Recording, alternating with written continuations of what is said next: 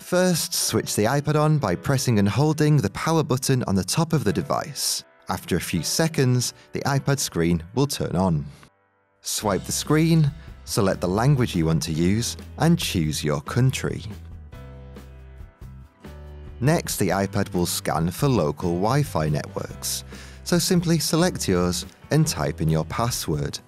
If you don't know it, it should be printed on the bottom of your router. You'll be asked if you want to enable location services. Enabling this will allow your iPad to know where you are so you can get the most out of maps and search results. We'd recommend enabling the service to get the full user experience from your new tablet, but you can choose to do it later in the settings if you want to think about it first.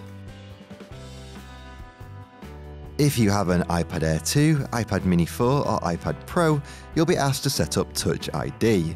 Lay your finger on the home button to enable it to read your fingerprint.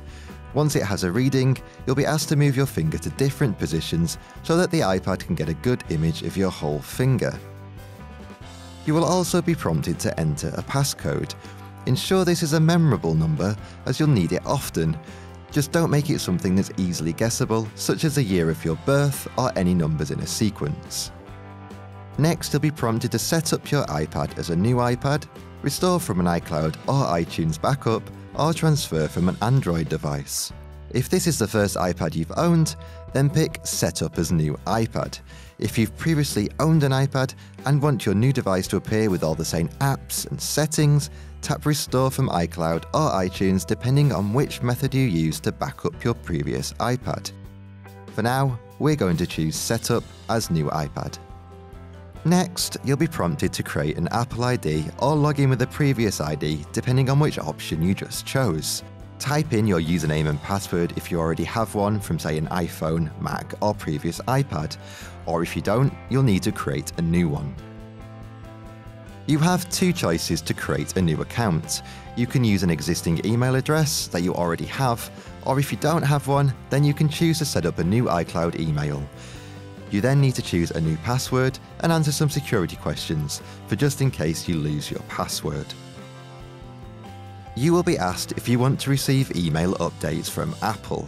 We'd always recommend saying no to these requests so that your inbox isn't filled up with unwanted updates.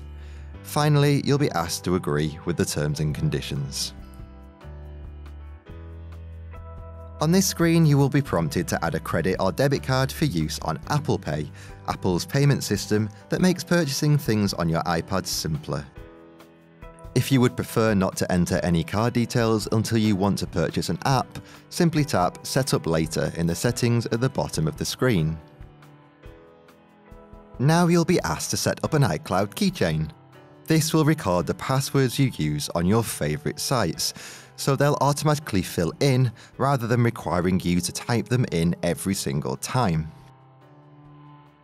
Next, you can choose whether to use Siri, Apple's voice activated assistant, which can be a handy way to interact with your new iPad.